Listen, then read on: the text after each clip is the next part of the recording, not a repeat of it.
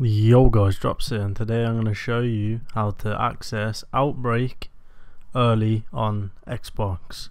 I'm not sure if it works on PlayStation but it could possibly using this method. So as you can see we're in the lobby online and you can't access the new Outbreak mode. So what you want to do is go to your settings.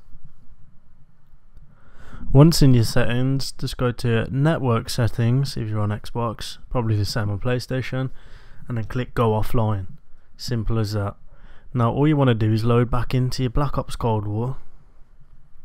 You'll get an error. Straight to the start screen again, back into zombies. Press A. And then change your mode to Outbreak. And then you've got the choice of three maps, Alpine, all them other stuff. So I'll load into a game just to show you and then I'll show you a bit of gameplay as well. But I'm not going to be playing much as we've got a live stream coming up tomorrow guys with the lads. So that's the tutorial there. If you want to leave now don't forget to drop a comment like all that stuff. Much appreciated. But if you want to stay and watch a little bit of gameplay please do.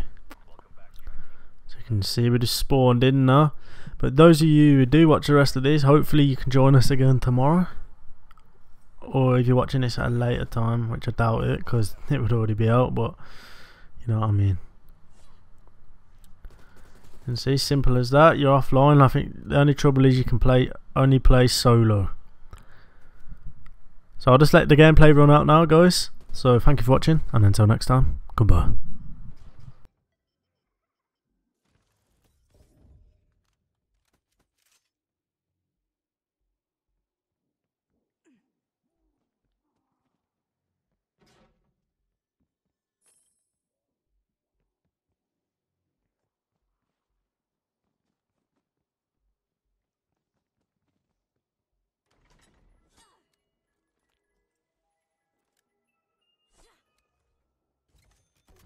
and precise.